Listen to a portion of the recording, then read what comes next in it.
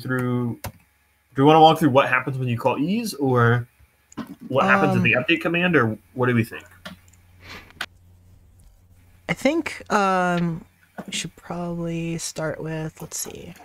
I think the update command is probably the best place to start. Okay. Even though it seems like we're jumping into the middle, I think that's a good place to start looking. So, obviously, the update command. What's the idea? Is that we're going to call it once every frame, right? Yeah. I'm sorry, I'm just scrolling. I'm, I'm trying to find this part where we do Lua. Here you go, Lua effect update, right? Uh, where would that be? This is line 705 on the dev branch. I can switch to the um main one if you. I think wanna be in the same-. Yeah, um, I think I have it on GitHub. Um, this might be an uncommitted version of the dev branch.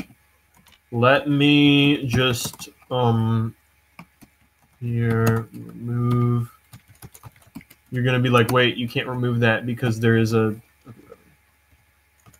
git clone https um github dot com xerool not itg. There we go. Perfect. So now we're on latest master, which is 2.0 for anyone listening to the recording. Thank you for listening. Okay. Latest master. Here we go. So let me scroll through. We're going. We're looking for Lua effect. So first of all, let me actually just fold this more. We can um. Here we go. So here's the basic structure here, right? We've got an on command function. We've got a begin update command function. And then way down here, we've got an actual update command function. Okay, right. This is in template.xml, is it? This is template.xml. Right here, template template.xml. I wish I had um syntax for this. Um, what editor are you using? I'm using VS Code. I think VS Code has an editor. Look up XML Lua. It's I think it's by FMS Cat. Yeah, I have it installed. Is there like a config I can do? Because the not working? conditions, the conditions don't um have the syntax. Oh, fair enough. Um, you could switch to Vim and use my highlighter. Not that you'll want to, because you can see it's buggy and broken right now. It works if you unfold everything. It just doesn't like to understand the idea that Lua can last indefinitely long. So it likes to go back to the XML. If you Oh, I unfold it, it works. Um, but I wanted to look at the folded version. Yeah.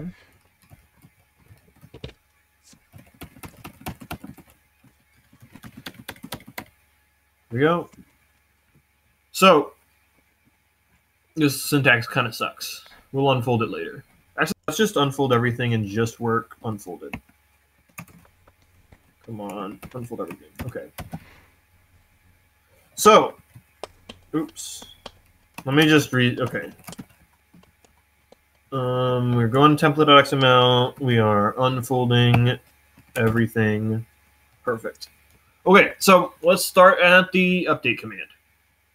Right? I'm at Lua effect update. Well, so the, the actual definition of update command, if you look to the very bottom of the file, the last three lines are um some definitions, right? Okay. So if you notice update command, it's not an inline function.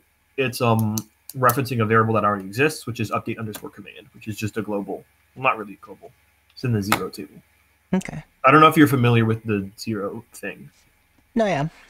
but um, basically that is the function. It's literally so if you go to line 837, that is the beginning of the function, that the definition. Yeah. So that is running every frame, right? And we can walk through each section. So this first section here, um, 839 through 841, is getting the beat, right? Mhm. So this is immediately getting the beat, and then we check if it's equal to the old beat, and then return which you might be thinking, why are you doing that check? Aren't you um, running this every frame? But it turns out the frame rate and like the internal tick rate of the game is different. So sometimes game state gets on beat will give you the same number more than once. And Oh. in that case, I'm going to calculate the same mod values anyway, so it's not even worth running the function again Yeah. for that frame. And then we mark down old beat equals beat, and old beat is it's literally right there. It's the local here. Yeah. So now step one is we're looking at the eases list. So eases is a list that has been constructed based on um, what's gone on before. And eases index is a number and it starts at zero or one, let's say. So the first check we want to say while we're not at the end of the eases list and the eases at our index um, has started. Does that make sense? Yep. The the plan is this is like um if you've ever looked at Exschwasion, this is like your the function you're on. E- each of these eases, you might think, oh, isn't an ease active for more than one frame? And we'll get to that if you actually look down. There's an active eases down here, but Mhm. each ease only activates once. So we can just keep an index. And most of the time, this while loop on the fast case is just going to say, I don't need to activate this beat, this at the next beat. Like it won't, this, this inequality won't trigger for eases index here most of the time.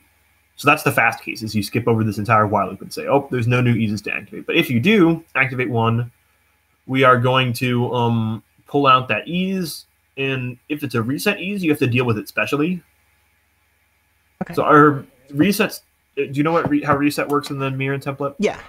Uh, I've also noticed that um, you can't actually like chain resets. Um, like you can't put you one by that? reset and then put like three tables that have different beats for them. You actually have to put reset and then a, um, a table, and then if you want another one right after, you have to put another reset. That sounds table. like a bug. Hold on. Let's look up. Hold on. Let me just find this real quick. Part of me thought it was a bug, and part of me thought it was intentional, so I didn't say anything. Um, yeah, this should have a return reset here. I will note that down for later. Um, but I'm gonna not put that in yet, just just so that we can have line numbers that line up with the current master. Yeah. But I think that might be a little off sync, but I'm still able to follow. It's like only two line difference right now. Okay, perfect. So um, if it's a reset ease, so you might be thinking, hold on, resets are not eases, but um, we'll go over the the input system at the front. It does actually a, a decent amount of processing at the beginning. The the important thing to know is resets are one of the things that gets put into this eases table. So if it's a reset, then what it does is it goes Wait, through. resets aren't um, eases? Can't you ease a reset? You can put eases on it, yeah. Okay. it's so it not an ease. literally using the it, it's not literally using the word ease so it might not be obvious because Yeah, in yeah. other templates you have different table readers for different tables and in the Mirin template it's sort of like that except for we only have a couple of tables and eases is one of the tables so anyway resets what does it do is it goes through all of the targets and you might be thinking where did this targets table come from um targets is one of the globals um, there are a couple of globals, and I can kind of collect them if you want me to.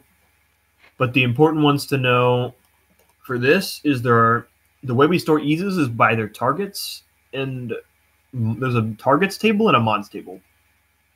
And here's mods table. And the targets table is like if I were to finish all of the eases that are currently active right now, where would they be? And the mods table is like if I were to want to apply mods right now in a mod spring, what are the percentages? Does that make sense? Yep. So maybe we'll look at the reset after, but um, basically we might relook at it if it's still confusing. But we say we'll check every single mod that has been applied so far in the in the targets. So everything in the targets. So we're literally checking every single everything. Yeah. And if it's not excluded and it's different than the default value, default mods is another thing we can explain how it gets constructed later.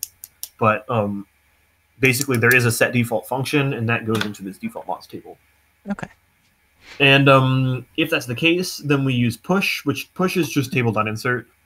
Um, back when I wrote this, I was suspicious of table.insert, so I used my own function, but I need to go back and sw- swap them all back at some point. Um, basically, I used push instead of table of insert and dot n instead of table dot get n. So anyway, it pushes for, for every single mod. This is pushing. It's literally imagine that you have an ease, right?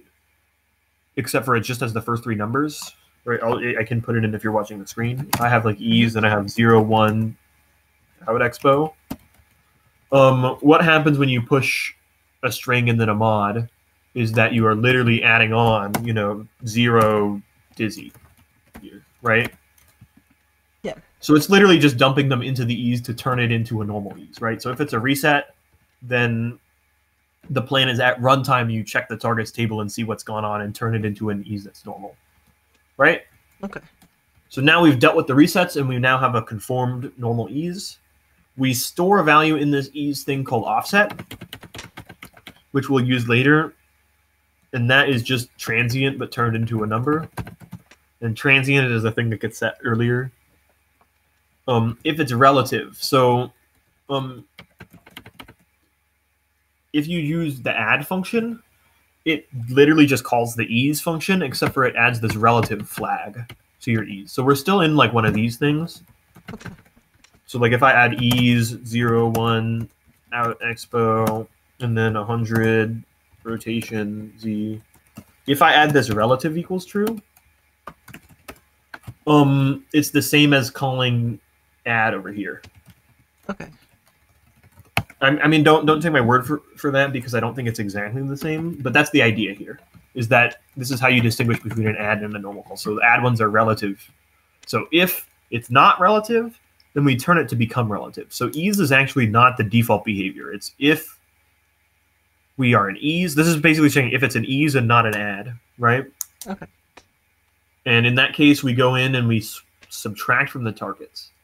So if I say, um, let's say I want the number to go to 200%, but it's already at 100%, then we subtract the value so it's just 100. We just have the offset stored here. So now we have all add eases. Is the way to think of that, right? Does that Yeah, that makes sense. Okay, perfect. So now we check for if it's not transient. And transient is a word that I came up with to define basically to describe an ease. So if I have an e or like an ease function. So if I have zero one and then I have pop, pop is transient.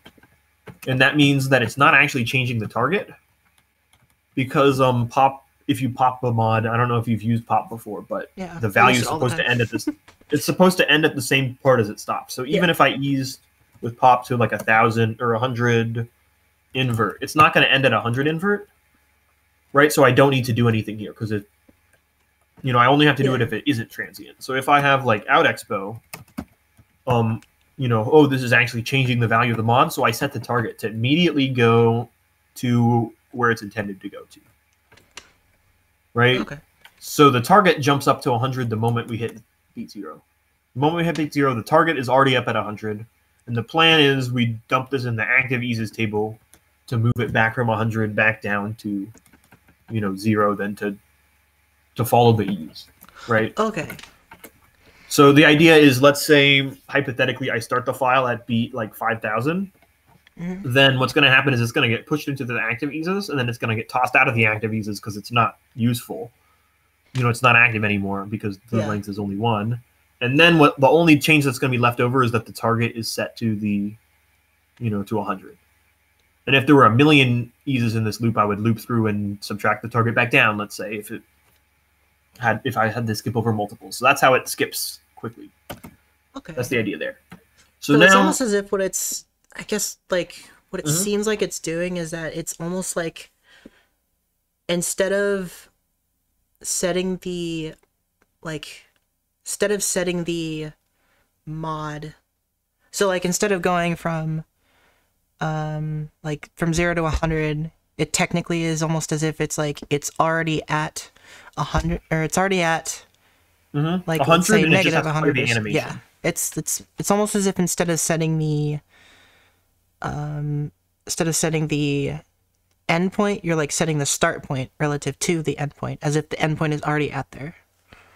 If that's what Yeah.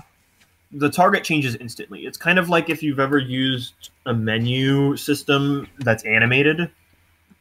Like the moment you start the animation, it's technically internally already done, but it still will play the animation later, okay. if that makes sense. Yeah. So internally, it's already there. So that means if you have an ease that starts later, it will know to use where where the value's headed to, as opposed to like the current value.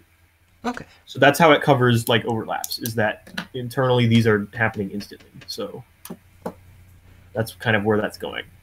Okay.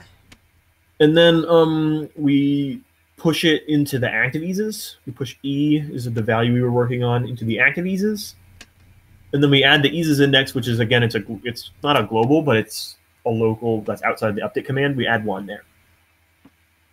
So the idea is um this while loop won't really run more than once for most of your frames. It will only run once an ease needs to be activated. So it will run once for every single ease ever, right? That makes sense. So this isn't running every ease every frame. This is running just whenever you hit a new ease that needs to start. Then it will do all this processing and then toss it into this active eases table. And the active eases table is where the actual mod values get manipulated, right? Okay, so the actual while loop, like it only runs for like maybe a split second, and then Yeah, you can think of this as 99.9999% of the time, this while loop is just going to skip. It's going to say, oh, there's no new eases to be activated.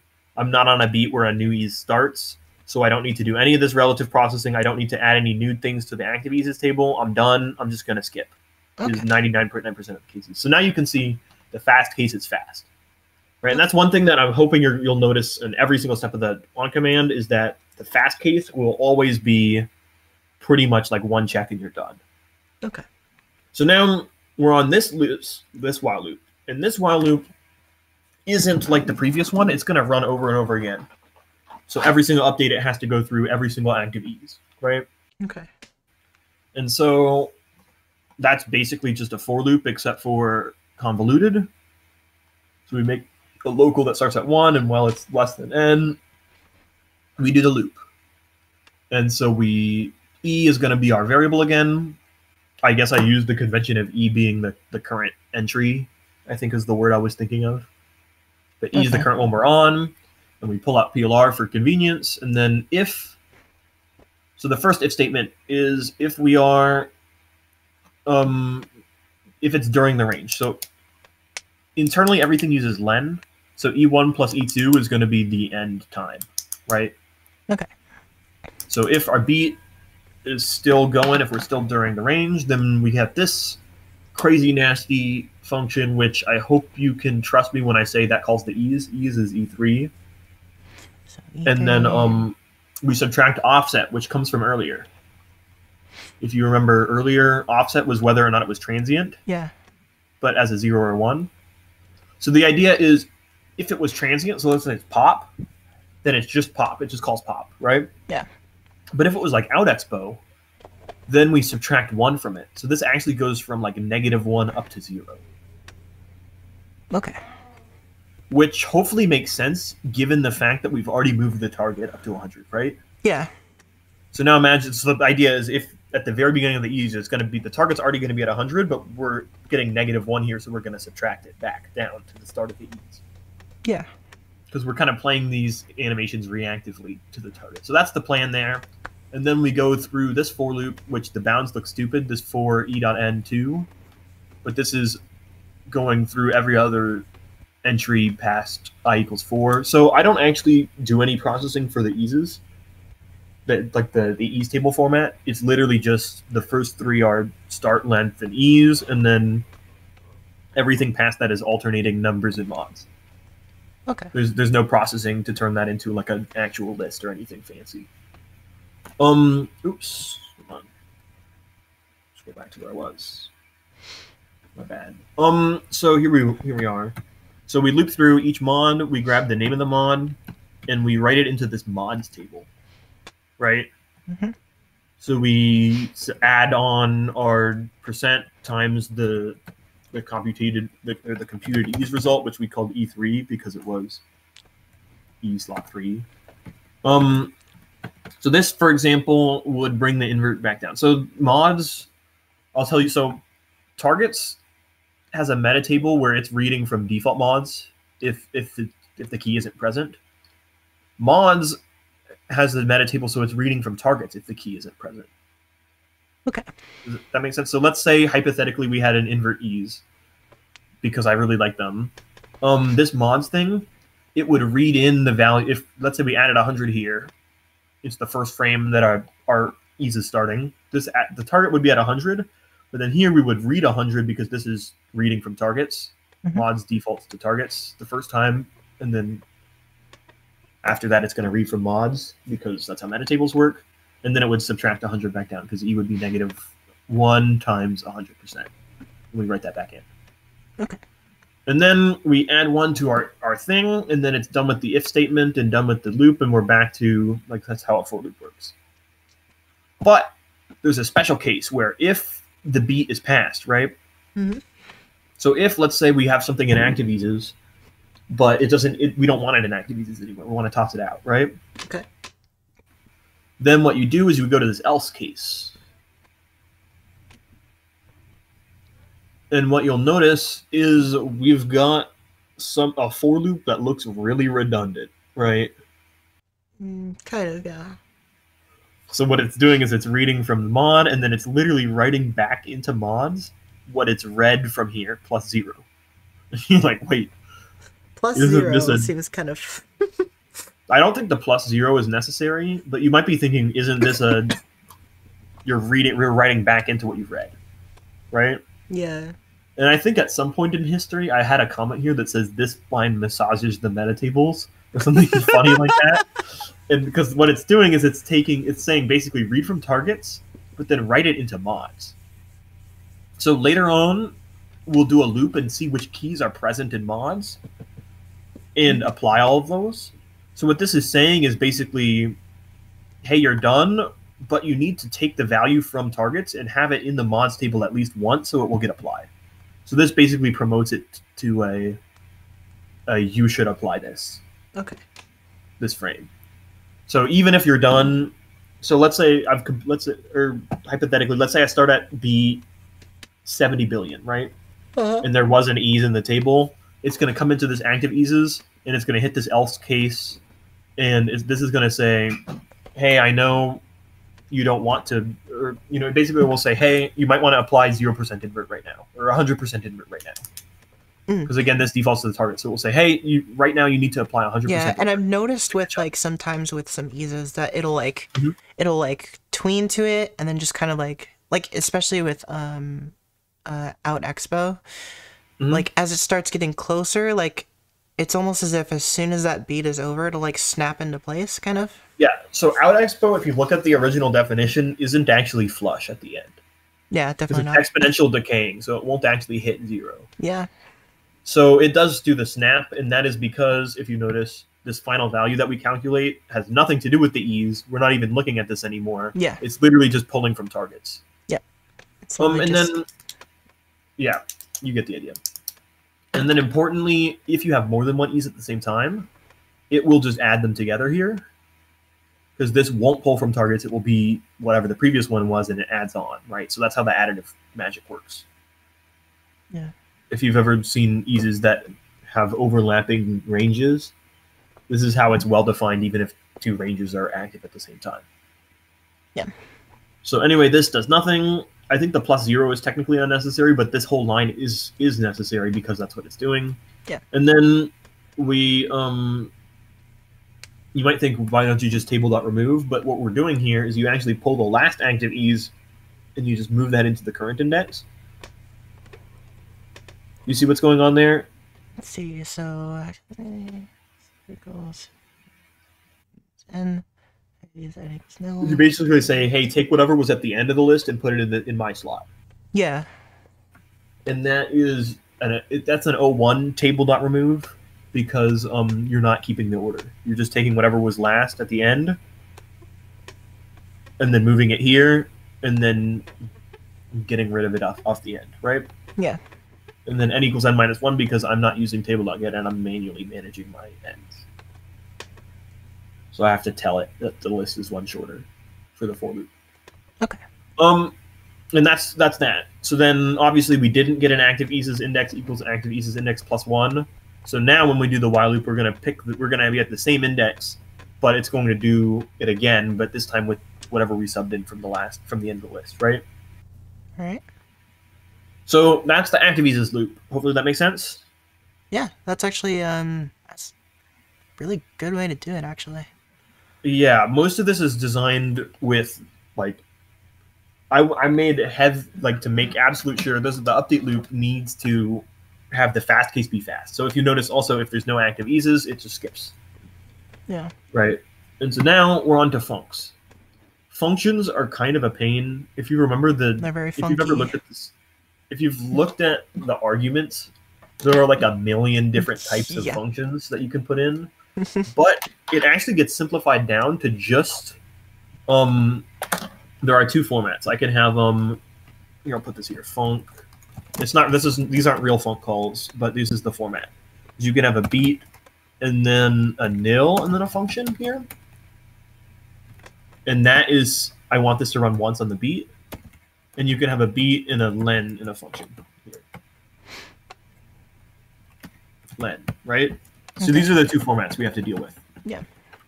Um, and if you want to know how does my a million argument function call get compressed into this, we can look at the definition of func.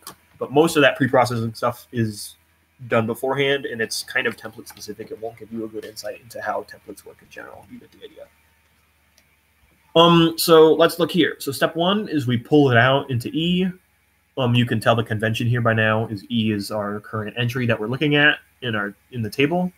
Mhm. And if if not E2, so if it doesn't have a length, if I go back our examples here, if there's no len here, then we just need to call it once, right? Okay. Um, and if you'll notice, there's no sustain times in these formats. So um, if I want to have a sustain time system, you're gonna need to check in here with the beat. Um, you know, do a check. Yeah. Check. You know what I mean? You'll have to compare the beat to how whenever you want it to, and if that's the case, then you run it. But that's all inside of that function. Yeah. And again, the detail is in the function. Well, so we call it immediately. Notice we pass in the beat so that when you are doing that sustain time magic, you can check and see if the real beat that it was called is too late. So like imagine I press play on my mod file and I've, I've scrolled the editor to beat 100 and there's a func that's at beat 30. Um, the idea is this will get passed in 100 here. So it will be able to know that it's running super late. Okay. Um, and then otherwise, this else is for the case where um, there is a length, and we say, well, is it in range? Right. So the idea is if there's a if there's a per frame. Oh, I should I should explain this as well. Um, this guy up here, the same time infinity. This guy down here, knows the sustain time. So if it's past the length, we completely skip it. Okay. And that is part of my func format. That's pretty much what's going on. So if I if I do have a length like this with a sustain time, so like for example, when I call func, if you give this an ease, this is a func call now, and I give it to two numbers here, the semantics says technically that this should have a sustain time. So the way that does it is the func function will go in and um, put in two entries into the list. It will put one here that's at the len, you know what I mean? It will do beat plus len, Yeah. and then say, you know, finish up here, and then in here it says, you know, currently running. Is how it would look. Okay. Right? So that's all handled before we get to this point because I want this for loop to be as simple as possible. So anyway, here we add to the active function, and you'll notice there's some magic here, right? Active funcs is not just a table. There's shenanigans going on. Yeah. That's There's an add method. And we can get to that in a bit. But this is to preserve I don't think this property I don't think people care about this property anymore. but this is to preserve function order. Um, there's a weird special case where um, imagine I have a function here, right? Or I'll call func, and I have a length. Let's put it at beat um 10 and for 10 beats, and we'll call a function. Oop, undo that. And in here we will print a, and then hold on. And here we'll have a one that starts at five and it will print B. Right? So the question is if I'm on beat, let's say 15, I'm in the range of, or not 15, let's say I'm in beat 13. I'm in the range of both of these, right? And I'm on one, one frame. What order do these run within the frame? Um, print uh, So- print B should run first, right? Um, the semantics are actually print A runs first because I called this func first. I Oh. inserted it first. Right. Okay. and that is a weird concept because it's like technically this thing is going to reach B first. So how would you get A to run first? And so I have created a custom special data structure called this active funcs thing has its own custom data structure that will handle all of that to make that technically well defined. Okay. But um, if you're not really worried about this interdependency, this this it, this was important before we had nodes because Yeah. if you remember, the historical system is this takes a beat and this also takes in I called it poptions, right? And then in here I can do 4pn equals one comma two do oop, that is not the word do. I hate autocomplete. Do and then we've got poptions pn dot invert equals hundred. You know what I mean? yeah. So now, when, once you start doing stuff like this, the order semantically matters. But now it doesn't really matter anymore. I've just it's basically legacy code is one way to think about it. So, did I make this line? I don't know. I'll just assume not. Um, so that's what's going on with this ad. And we can go over this if you're interested, but um it's kind of weird. Basically, the the idea is you keep track of functions that were added this frame, and then you do like a merge sort kind of thing to merge that in with the functions that are already existing, based on some pre-existing order that's defined in here. Okay. And we and you can look at the func and it will add like a number to each to each thing to keep track of the order that they've come in, and it will use that number, the ID number, to merge them and we don't want to think about that, so that's why I wrapped it into these functions. So anyway, this is a while true. This is this uses like a Java iterator style system. If you've ever used iterators in Java, so there's this next function, and then there's this remove. And what next says is is grab me the next item, and remove says you'll notice it doesn't take any arguments. It says whatever item you just gave me previously, I want you to um also take that out of the data structure.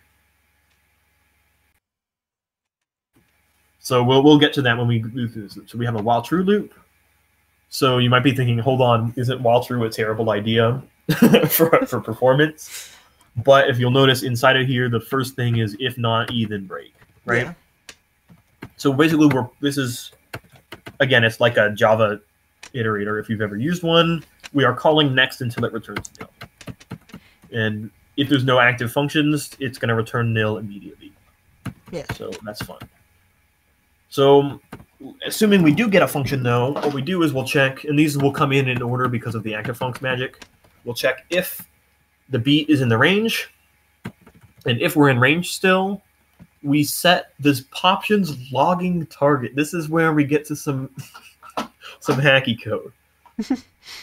is e dot mods, and you might be wondering, hold on, what is dot mods? I don't remember ever having a mods equals in a func. Um, and that's right, it gets added in. This is like legacy. This is Poptions code. I don't know if you've ever used Poptions. Occasionally, I've been using it a lot more since I've been writing that. You're aware of it, do we have the Poptions still here? Yeah, options again. Um. So anyway, ideally you would be using Node instead of Poptions, but um, this was the old interface before we had Node. Mhm. One thing you'll notice here is if you run this function right here, let's get rid of the print. If you have something like this, you'll notice that invert will stay on for 10 beats, and then it will reset back to zero Okay. when it's done. And you might be wondering, how does it know to reset invert? You know, there was no ease that ended or active ease with invert. How does it know to end? And that's what this logging target is for.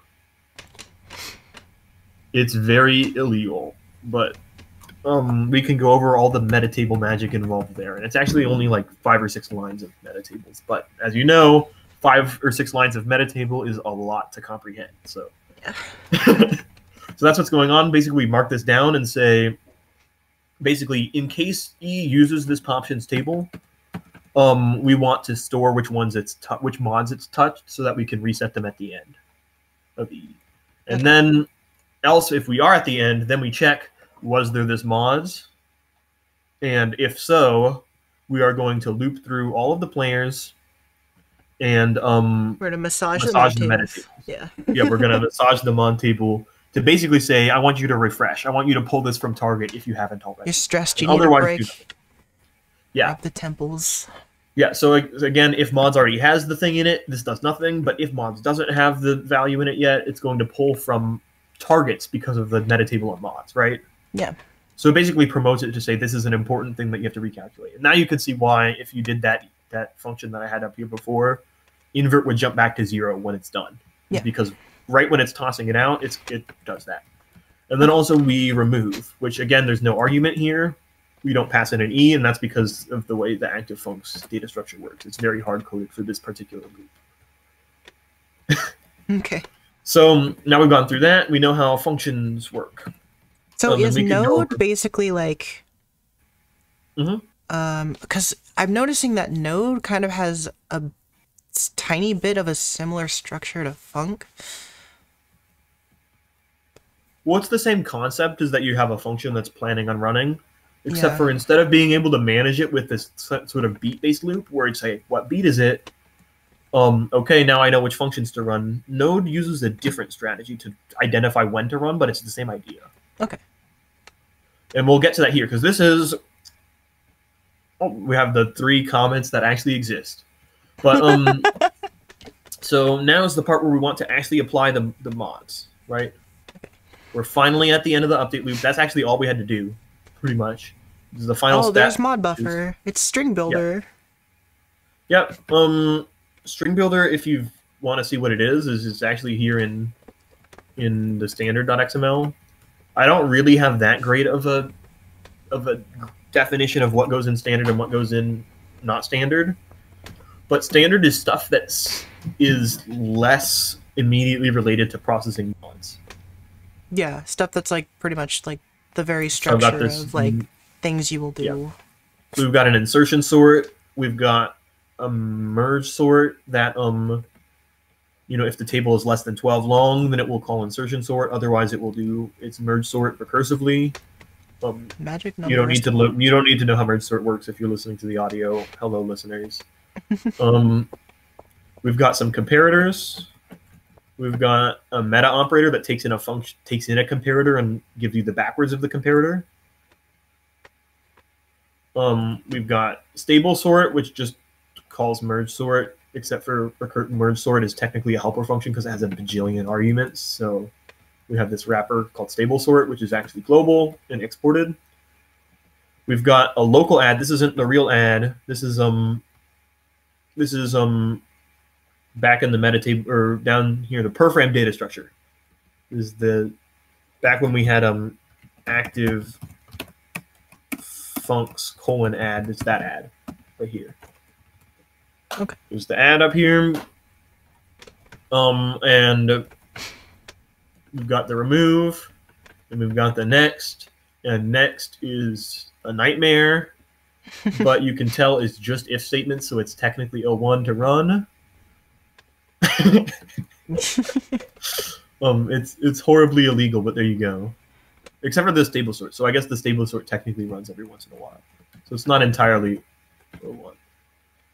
um, but you don't need to worry about that unless you're interested in knowing how this works. We can go over it. But this is a really long tangent to get to string builder. And I don't know if you can read metatable code well or not. This is a bit to to take in. Well, how about how we have the listeners answer Yeah. Like right now, just shout at your viewers. Can- screen. Can you can, can you you read read? Answer in the poll. It's on the screen in the top. It's just added in like a, a poll. Yeah. Wow, they answered that they could. So we'll go over it quickly, but um, it's not too important. So basically, string builder. This is a constructor that makes a new table, except for with these this meta table as the properties. And this meta table, if you call it, it um inserts stuff into it. So if you call call the string builder, it tosses whatever you called it with into the table, right? Okay. And then um, there's a function called build, which is just table.concat. So I don't know if you've ever used table.concat before. But the idea of table.concat is if you do table concat and then um you've got a table here with strings in it, like A, B, C, then this equals ABC. It concatenates, Yeah. right? It's pretty simple. and you might be thinking yeah and you might be thinking why does this exist why would anyone use this when you could just you know do a for loop for the in i pairs table I'll just put t do you know accumulator equals accumulator dot dot v and right so we might be let's i'm just real quick this is important because it's a runtime thing um you might be thinking why don't why don't they just expect you to do this loop right but this loop, let's say this table has a billion things in it, right? Yeah. Or like let's say it has a hundred things that are all one letter long. I don't know if you know how string allocation works in Lua, but you have to have a value that backs each string. And so this dot dot is constructing a new string every time, right? Yeah. So if this T has a hundred items in it, then this is going to construct a hundred strings Mhm. if you do it this way. And that's why they created this table.concat so that you don't have to. Yep. Because this is a built-in thing that isn't implemented this way. It's implemented in C and it will just generate them all. So the idea is I wanted a string builder that basically let me write the code in this way, where I'm looping through something and appending it. Except for instead of dot dot, I wanted to insert it. So I would, you know, ack equals, you know, string builder. And then I just ack, and then instead of dot dot, I, I just call it with the here. But that's the idea. And now and then it internally uses this concat whenever you call build, or whenever you call toString. So toString is also concat.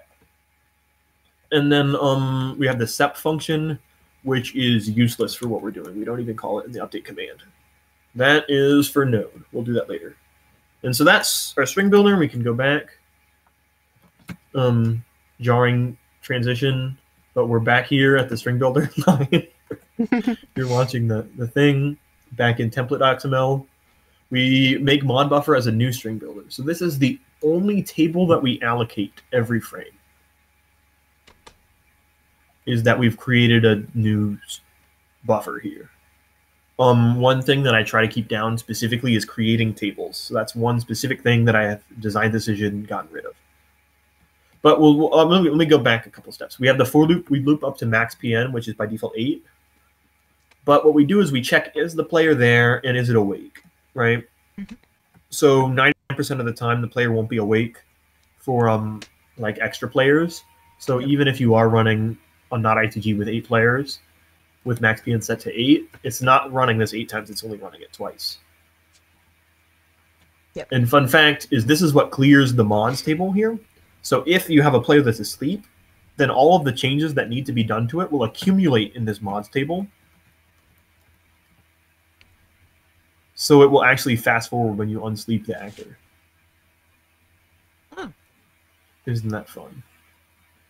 It's extremely fun. What do you think at home? Do you think that's fun Yeah. or do you think that's not? So what we do is we add one to scene, and you might be thinking, why do you have a global named scene? Isn't that stupid? But this isn't a global; it's a local somewhere else, and this has to do with this propagate function. And um, do we want to skip those for now, or do we want to go over exactly how they work? Um, well, it's up to you. Because skipping nodes, we're actually really quick here.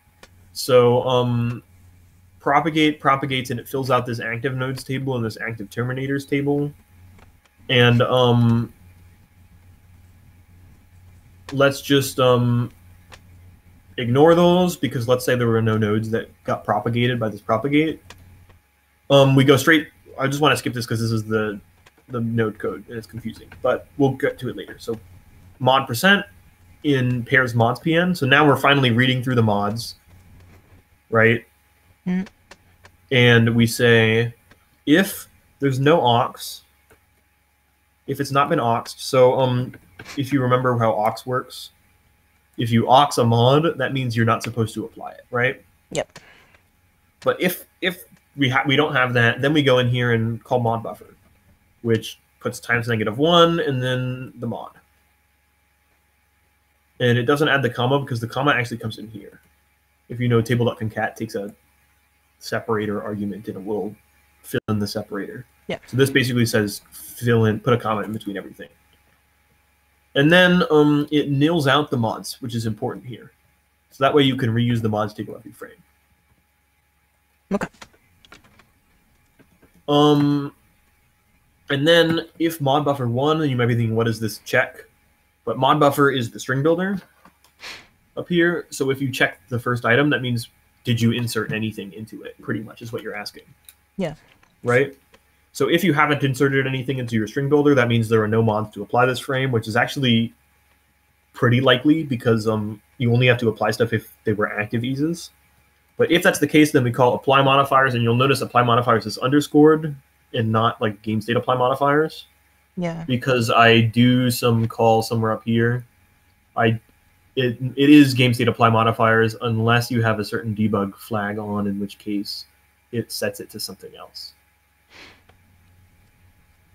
Okay. Um, so basically, that's that's the debug hook, so that in case you want to see the values that it's applying every frame, which you don't, so we'll we'll just presume that's normal apply modifiers, and then it does that for all the players, and we're good. And then we have if debug print mod targets. This is literally false, so we don't print the targets.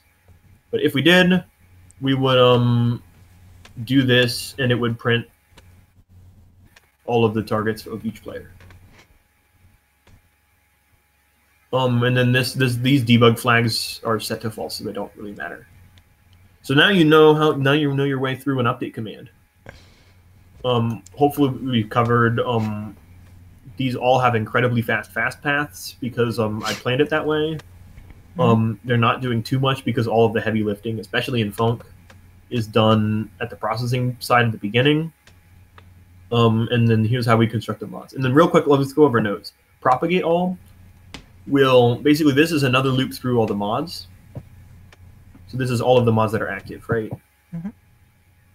And we um, check are there any node start, anything in node start, which is a data structure that basically says here's all the nodes that immediately read a given mod. And so we propagate them to mark them as um, like active for this frame. And propagate is like recursive, and it will go through. Here's the mod we've started at, and it will recursively go and activate all the mods that need to be activated, or all of the the nodes that need to be activated. And then we loop through all the active nodes. We've pulled it back out of the active node table and then just run it. We run slot six, which is kind of stupid, but um, nodes have a bunch of arguments in them. So specifically, slot six is where the function is. Um, these aren't these are nothing like the format you call node with. It does a bunch of processing on node. So slot six is not literally slot six in the argument. It's kind of weird. Okay. Um, the eases they reuse that table that you give it, um, but nodes that doesn't. And then terminators are a special type of node that specifically need to be run after all of the normal nodes.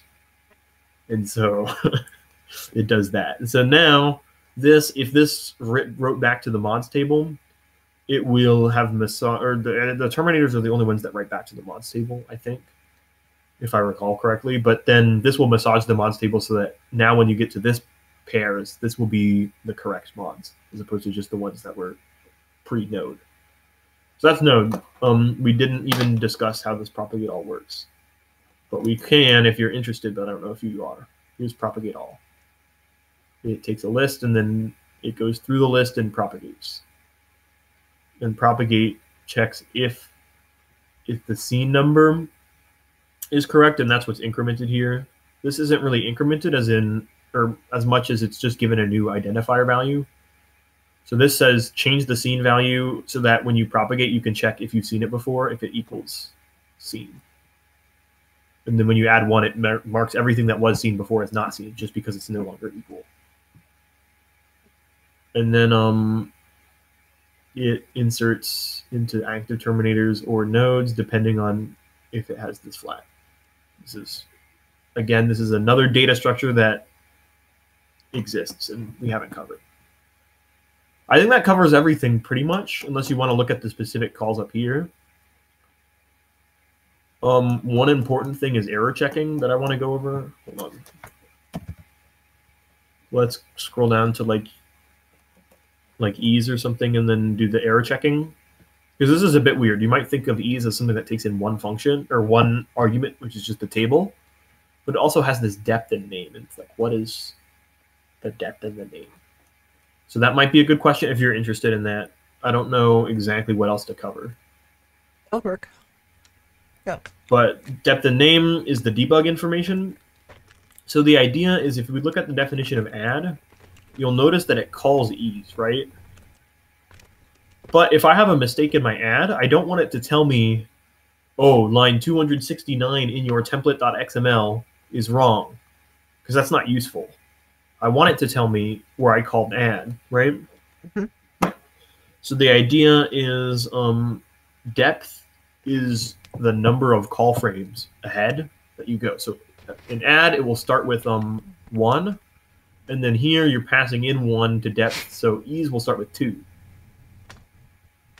And then if you'll notice this depth and name, and the name is also the, the entry point name.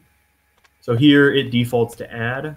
So that way it will tell you, hey, by the way, there's an error with add on this line. You know what I mean? Yeah. Instead of an error with ease, even though it was technically an error inside of ease. But that's how the name the name is doing. And then Yeah. the depth is the call depth. And you'll notice we call this screen error function, and that's how we report errors.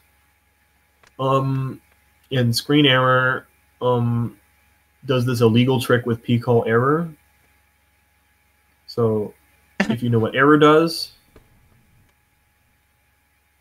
um, error can take in a string and then a like a depth, and this will tell you how far up the call stack the error to, to place blame on. So because we've kept track of the depth properly, it will tell you basically whoever immediately called. Here's where the blame is, and then um, error also takes in a string, which is your error message, and this is, this is the error message. And then um, we p call it, which is kind of illegal because p call is supposed to catch errors, right? I'm sure. I'm, I don't know if you've used p call before, but it's kind of illegal to p call error because you know this is going to cause a problem. But what we're doing Yeah. here is we're getting this error value, which is like a stack trace information. So this is a way to, without the debug library, figure out the line number of who called you, and also add on an error message. And then we screen man system message that to make sure that the game doesn't crash, but the person who's coding knows that something went wrong. Yeah.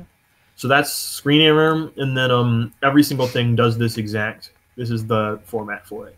Is depth equals that name equals name or, and then the name of the function, and then you call screen error with just depth and name, and anytime you call any other thing, you call depth and name. So that's how you add debug information. I feel like that P call error is like taking someone's lunch money so you can feed a homeless person. Yeah, It's like, yeah, it's fucked up, but like it's kind of necessary. yeah. We don't have access to the debug library, and I don't think this would be a good use of the debug library anyway. Basically, this is the error we would want to throw, except for instead of throwing it, we're gonna just system message it instead, instead of crashing the game. And this is less important as they add like the crash pop-up windows where it's not actually crashing; it's just um popping up in a window. But Yeah. this was this whole concept was implemented before we had those pop-ups, and this Yeah, might be but honestly. I like that better than the pop-up windows. Yeah, it might be worth tossing out, but there's not really a reason to go in and change everything. I don't think there's a reason. I honestly would prefer to keep that in, or unless you add like a legacy, like. I have no reason to take it out. It's too much effort to take it out. Yeah.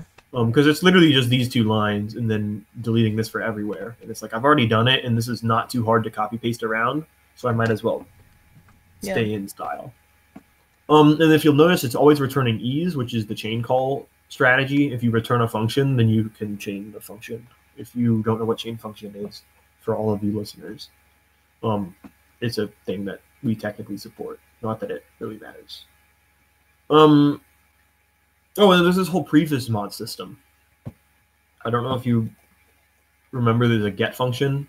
Yeah, there is. I uh, realize I remembered today that there's a get function. Yeah, and it's illegal. Um, literally, whenever you call ease, it immediately writes into it, to this previous mods. Wow. Because I Um, was it doesn't even it doesn't even read the beat number that you pass in. It I was care. earlier just like, how am I gonna fix Mini for the uh, SM5 conversions? I need to like read the mod that's on uh, that's on Zoom Z, and I was like, Um, get is like, not how you'd want to do that. Ideally, you would do that with like a node because nodes can read during the frames. Get is like read. well, yeah, but like, oh, I would just, I don't remember how to like pass in mods into notes.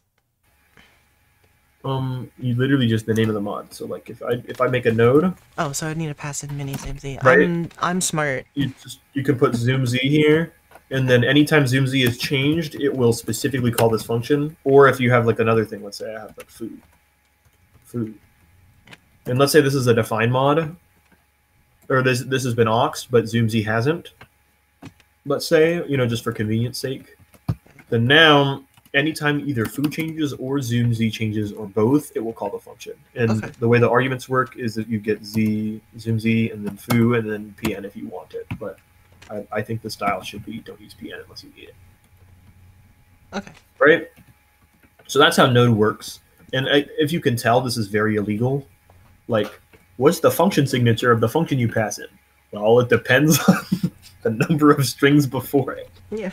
is not a, a convenient thing to deal with, and you'll notice um, if you watch or if you read through the node code, it isn't a convenient thing to deal with. The reason I chose I designed it that way had nothing to do with convenience on the back end. It had everything to do with convenience on the front end. I wanted it to be easy to write a node Yeah. at pretty much all costs.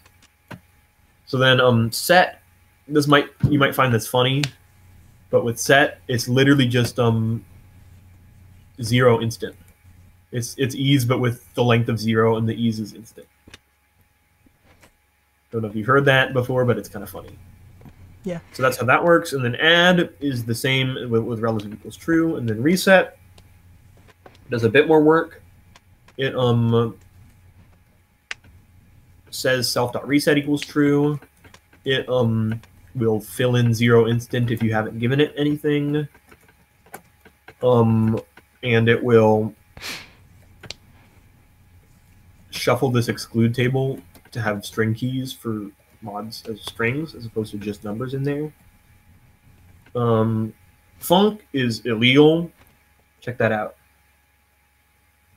Oh. Oh. equal A B C D E F equals self one two three four five six. If type A is number and type B is number and type C is function and type D is number and type E is number and type F is function, then we do this. We, we reassign ABC equals AB and then this new C. Couldn't you like uh is there a way to do like um like how you can do multi um like you can assign um to multiple variables on a single um a single line by doing Mhm. like like local what yeah what you're doing up there that that uh, local assignment ABC equals AB But- that. could you do like a could you do that for equalities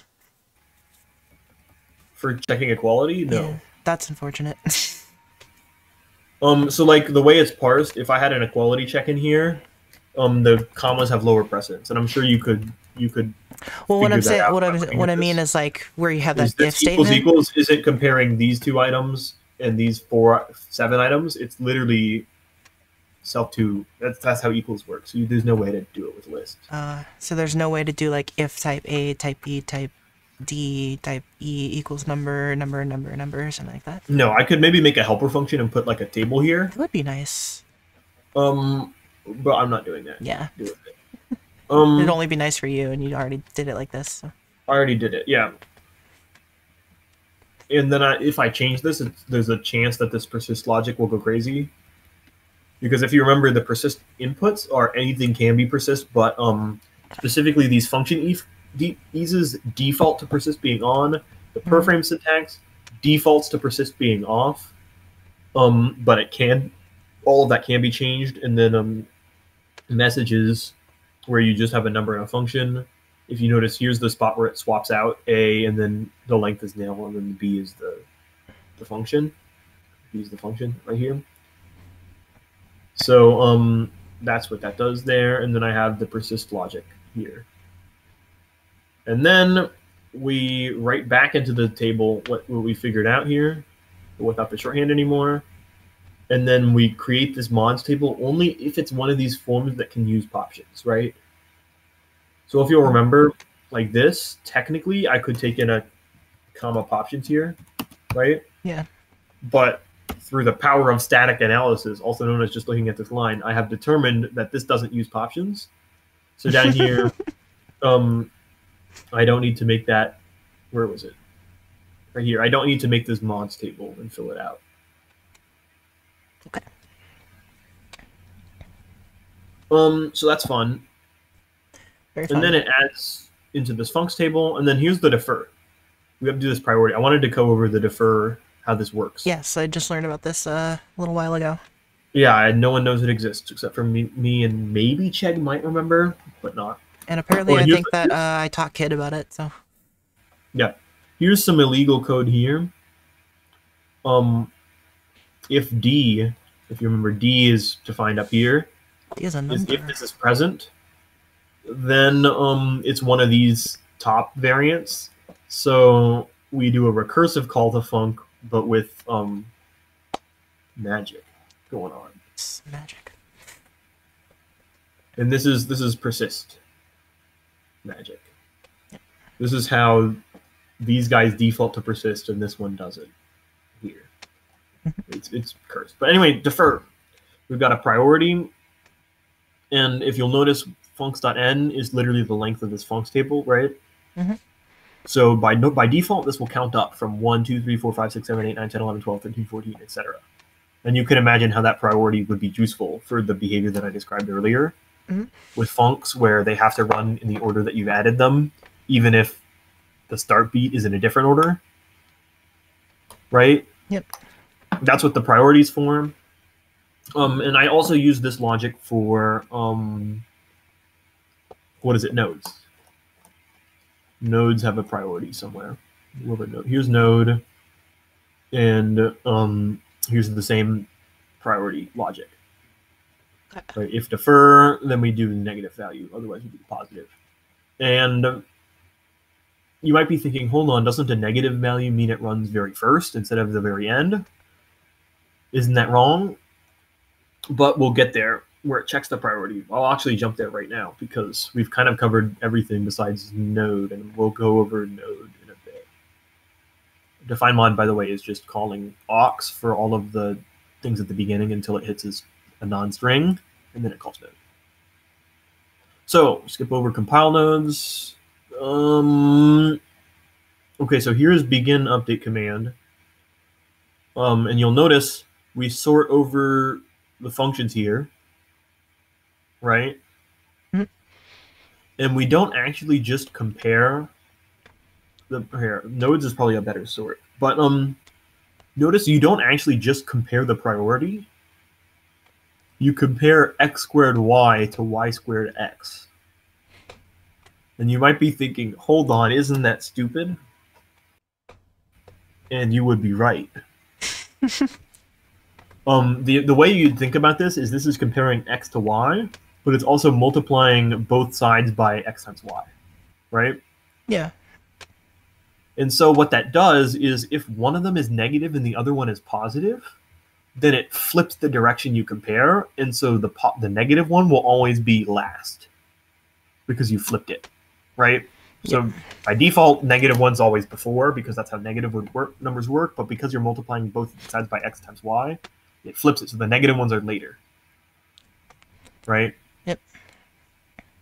but then it also compares negative numbers correctly. So that's a weird trick that I use to make it so that negative numbers mean like, you know, very, very, very low priority, but also still in order.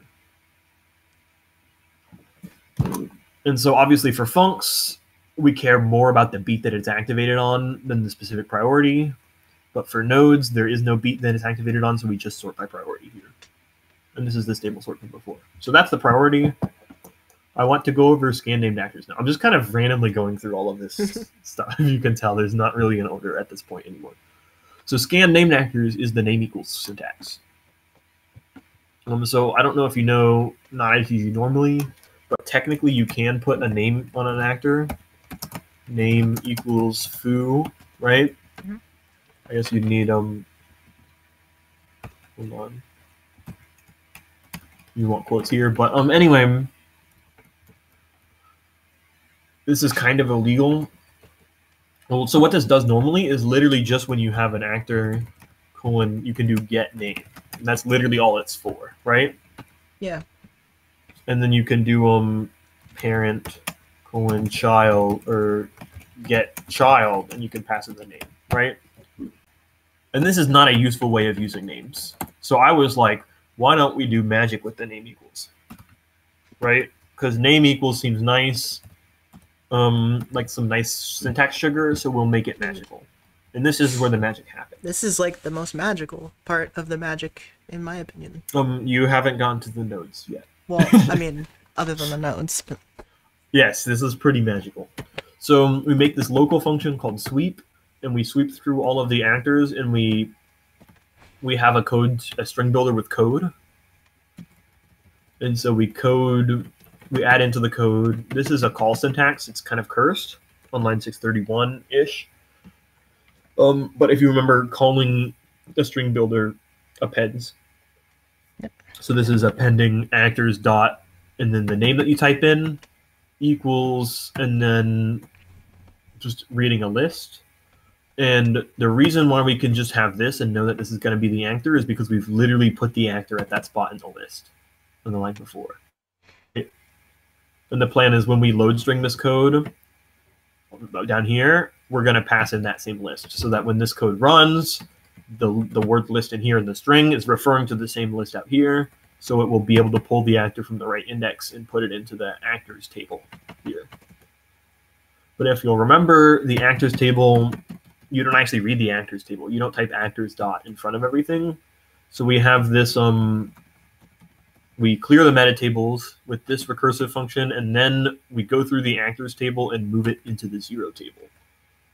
And then that's how that works pretty much at a high level and I don't really want to go over this the code building, but we can if you need more details. I don't think you will though. You understand what's going on, though, right? Yep.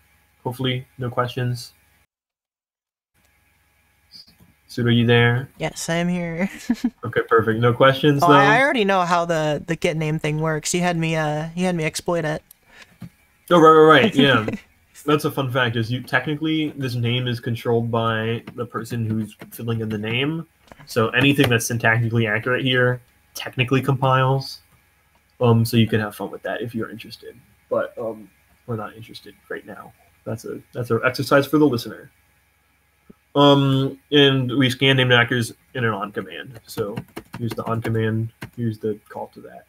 Simplifies the on command a lot. And then we could Q command begin update, which is this. So step one is you hide all the things, and then we load up the p table, and then we um, call that load command on the foreground. And you might be thinking, hold on, isn't the load command not on the foreground, but on um specifically in your mod that isn't it like mods.xml? And fun fact, um, OpenITG is broken, and plain command is always um recursive. It calls all of its children if you call it on an active frame. So all commands always literally um, call on all of their children as well. Fun fact. Isn't that pretty cursed? Yeah, that's not If you play any command on an active frame ever, it always by default will also play it on all of its children in OpenITG. So that's how this load actually loads your mods.xml and all of the plugins at the same time. Yep. and, and then after we've run your load code, you can sort the tables and prepare. And then we resolve aliases. So after you've created these tables, it goes in and, sh- and fixes all the aliases. And then after that, you compile all the nodes, which this is the most illegal function out of everything. Yeah. Um, I Well- noticed that coding um, or moving code to SM5, like, I I, I, I found out that um, compile nodes exists. And I was like, yeah, and we can go over them if I you're interested. don't think I would want to look in that at the moment. Yeah, and it works as is. It yeah, should- there it's already. A, be- I I imagine it's already a lot to digest right now. This is probably Yeah. So anyway, I have some default mods, and you might be thinking, why would you have nodes by default? Don't people not want to opt in? But fun fact, um, things are terrible. oh yeah, you forgot fact. Zoom Z there. No, it's intentionally not Zoom Z. Why? So in NotITG, whenever you use the zoom function, it will only apply zoom x and zoom y, right? yeah, Um, so that's what I'm doing here. yeah, but a lot of people um use Zoom Z, uh, the tween mod. Oh, I know, I know. So you just okay. Oh, I should set the Z default. Zoom Z should be set default to 100. Yeah. This is a bug fix. Um, the node doesn't need anything, but this set default. That is Yeah, the another bug. anything. That is another bug report. Thank you for this. Is this is what I'm getting? That one actually comes from. Kino, and it was in a uh, it was in the um, I am terribly Kino.lua in disgrace. Terribly sorry about that. Thank you for the bug report. And I also Thanks, do. MoveX. So again, in NotITG, Zoom is an alias for Zoom X and Zoom Y. You know what I mean?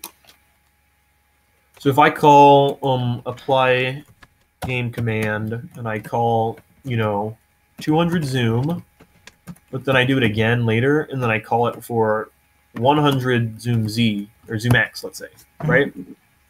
If you think through this, you might think what would happen is, oh, we, we double the zoom, 2x zoom, and then zoom X was already 100, so it will do nothing, right? yeah, that's how That's usually. not how it works.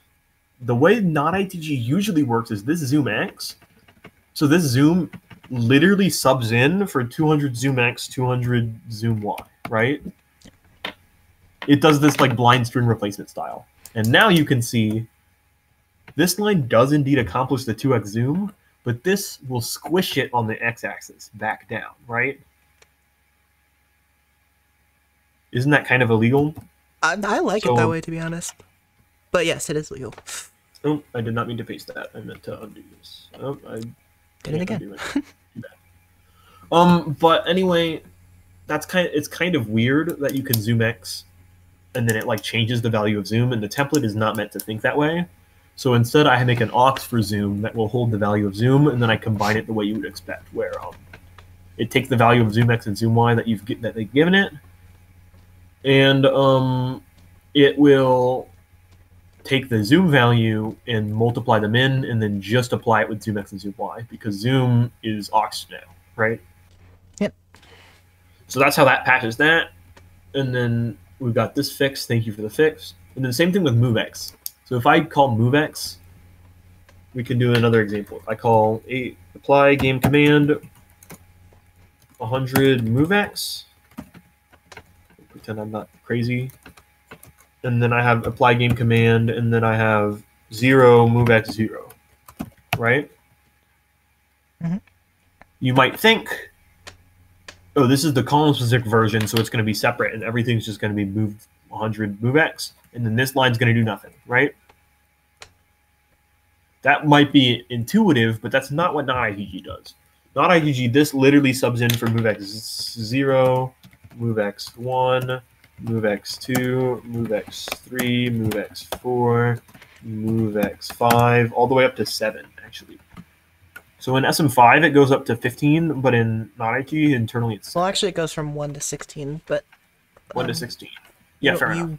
won't have to worry about that soon. Um, this is a non ITG template, so it's not too important, and Yeah. yes, you won't have to worry about that soon. So anyway, now with this new expansion, you'd see this actually has the unintuitive behavior of this line moving the column back, right? And obviously that doesn't work with the Mirin templates shenanigans. So it's the same solution here is we make an aux for movex, and then we so it can have its own value that's independent of the column specific movex, as opposed to literally just writing into the column specific movex. And then Xmod and Cmod, um, they can't. So the reason that these are using a node is because they can't use the special string builder that we have all the way down here. They can't use this guy right here, right? See this line in the update command forever ago, we were applying in mod buffer. We were adding times negative one a percentage of a mod. Yeah. But um, this doesn't work for Xmod and Cmod. So instead, I go and aux these, and then in the node, I make it just directly called mod buffer. And if you'll if you'll notice, this seems kind of illegal. Why are you calling mod buffer? Well, is mod buffer local or not? Um, I think mod buffer is uh, Is global. global. But anyway, if you remembered the exact time that we happened to run the node functions, you'll know that mod buffer happens to be set to the player that's currently relevant and building the string in the right spot, right? So for nodes, this is kind of magically the mod or the buffer of the current player that I am about to build right now. You know, it's kind of set up like that perfectly.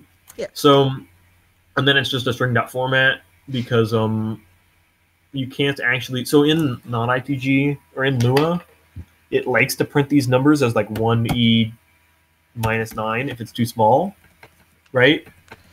Yep. And this format does not work in a speed mod. This is not valid, right? Oh, yeah.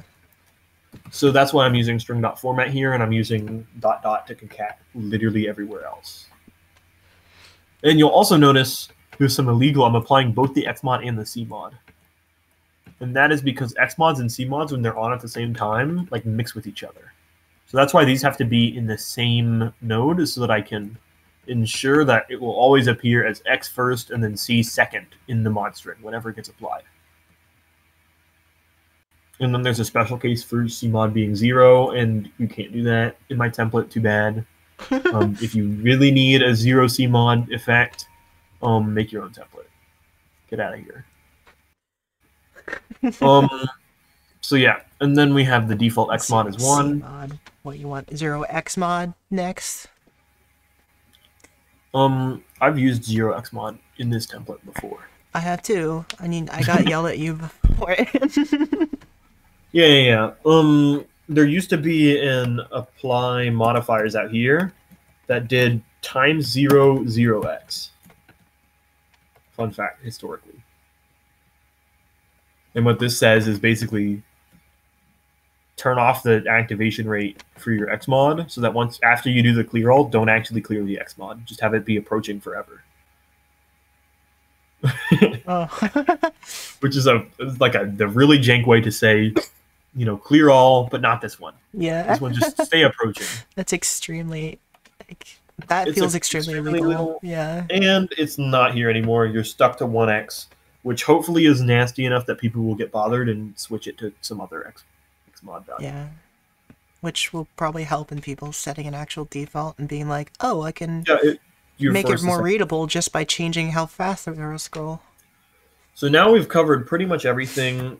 Um, one good thing to keep in mind is I don't actually, um, it doesn't actually work if you have a player missing. So one thing in SM5 is that a lot of people play with one player and then are like, why does it not work? Because they're not in NotITG where it forces you to two player mode like a good like a good player, Like a good being. like a nice a nice person using the code and not an evil person being like I don't know how to use mods. So um, I designed this assuming that they're both the players will be present and it will just crash if you don't. Like crash the game that or crash the template. Crash the template. It Okay. might crash the game. I don't. I Oh, think I it will it pop up the. I think it'll pop up the box and get mad at you. Yeah, I think that's all it does actually. Cause um, Um. Yeah, and so I need to clear to solve that. I think technically, the only oops, I did not need to. do you that. could do a late join. Or I know you can for non ITG. Which I think it just Uh, adds in um a player without spending a token or whatever. Basically, it just puts the second player in there. Well, and I do check it for the player's existence every frame here. So we're up to the task. The only thing is, I think specifically the mods.xml that I have provided by default just applies the proxies, assuming that the players will exist. Oh, so yeah, if you want true. to make it, if you want to make it um, player indifferent, you need to either delete that proxy code that comes in by default or change it. And I am definitely open to changing the default. It's just a matter of I want that default to be as simple as humanly possible because um, that's the only code that's forced onto the user. Mhm. And the reason it needs to be there is because if you want to change your proxies up, you know, if I want to make a proxy wall, I don't want to be forced to delete the existing proxies and then you know use my own. I, I don't want to learn that kind of on the spot. So you want to have the bare minimum code there. Could we use like So a? Um, can we like get the amount of players? Like, you can check if a player exists. It's literally this: if PEPN. We'll check if a given player exists. well, because what I'm wondering is if um, because there's an internal variable, you know, um, for the um zero uh meta table, like you can use it using uh get raw. It's like zero dot plr, I think. Something Yes. Like. So there's there's um specific magic with when you call ease like ease, you know, pretend this is right, and we have um PLR equals, Yeah. right. Um, this isn't. This has nothing to do with um. Like it doesn't have to do with how many actual players are in there. It just has to do No, with just like literally- this is so- default one and two. In your game code, you're allowed to just literally write to this as a global, and then anytime you call ease, it will read this global. And the reason that's a raw get is so that it doesn't read the global variable PLR. So if someone comes in and underscore G PLR equals two, let's say you have a theme that uses PLR as a variable name, it Okay. doesn't want to mess it up. So that's why the raw raw get is done, but it's not really that magic. Okay. Um, get rid of that. Um, what else are we gonna go over? We can go over the nodes if you want, or we can go over the next files. So main.xml creates the xero table and then loads all the other fun stuff. Mhm. Standard.xml loads first, and it's just some functions. Templates.xml we, we covered. Ease.xml just has a bunch of ease definitions. Plugins.xml is the important one, and then mods.xml is users code. So we've covered main. .xml is also the most offending looking one, in my opinion. Oh, it is. Yeah. Um, my syntax highlighter doesn't even highlight it. That's how it. And there it is. Oh. Yep. Um, I can go over this if you want, but it's a recursive algorithm. Well, because what I'm thinking is that we probably don't even need to make these um, uh, in you use- XML. We could just make this in Lua and load the Lua. yeah, and then use Arctic's general uh, recursive XML. Well, because we don't need to actually like make these into layers, since it's just code that we're Oh. running. They do need to be made into layers. Oh, why? Um, I have made at least one plugin that is also an actor that is not hidden. Okay. Um, and I'm not sure if that's supposed to be officially supported, but if you will notice, this thing doesn't hide itself, so it's technically visible, and you Wait, so what that plugin is doesn't it? hide it. It's uh, my aft frame rate limiter plugin, I think. Oh. Okay. But technically, plugins are allowed to draw to the screen, although it's kind of not good practice to do so because it's Mm. always going to draw into the user's code. Yeah. Um, and maybe that should change. I don't know, because that particular file has already been made and there's no extra work happening on it, and I don't think people are using that Yeah. plugin because it was just for the one file. We'll see where that goes, but this could very easily be just running code and no actors. Yeah. Um, I feel like especially I feel like Sorry, plugin. ahead. I feel like separating plugins and scripts would be kind of a good thing because like scripts can run just straight from Lua since they wouldn't have any like thing to render, but plugins could possibly have something that isn't hidden. yeah. Although I'm fine Um, no one else has made a plugin that is visible, so I'm fine changing the the scope of a plugin to say, you know, in the new version, plugins are weaker in that they can't draw anything anymore. I'd be fine with that. Okay. I haven't. Um, yeah, I haven't yet to see anybody actually draw things. Yeah. So that's everything except for Node. And here's the fun part we've procrastinated for last. Unless somebody makes like an easy shader writer plugin. But I don't Um, see no. that being possible. Or If you make if you succeed in your SM5 thing, you can always have a um plugin that exposes a def.actor thing. Yeah. Like imagine I have this thing, you know, like function oh, function create easy shader.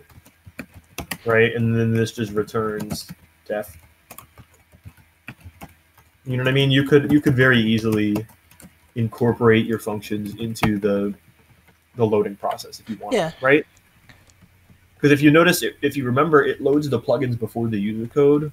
All of the order stuff is like incredibly precisely ordered, which is um why stuff like this ends up working. But so if you if you made a function like this, you could still have it involved in the actor creation process while also being a plugin slash script. So I don't think we need to distinguish that much. Anyway, compile nodes. Um, we make a table called terminators, which holds the terminator nodes. So terminator nodes are a special type of node that you don't create as the user, but it creates internally to keep track of things. Um, and I forget why I called them that. Fun fact. so for every single node, um, you might notice that this is a format that's different, right? So we should start with the node code. Um, here's node. So we do our debug information. We say curly braces if it needs to be a table. We have the inputs. We've got whatever reverse in is. I'm not even sure yet. So step one is we load up the inputs, right? So we loop through until we hit a function. While, while we have strings, we load this into this inputs table. And then also, this is an illegal line of code.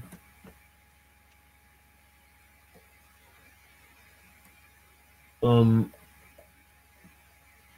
this a set default. I'm gonna change this in. I'm gonna add that to my bug reports. Um, that node has an add on zero should be set default. Okay, so anyway, um, this add function does nothing. It literally just massages the meta tables, if you will, to say, hey, you've got a node reading from this value, so it better have a value. Right? So you can't have the mod that's never been applied and then read from it because that would be bad. Um, and then it checks for a node, it checks for the function, and then it loads up out. And then, does it even use this reverse in? Hold on.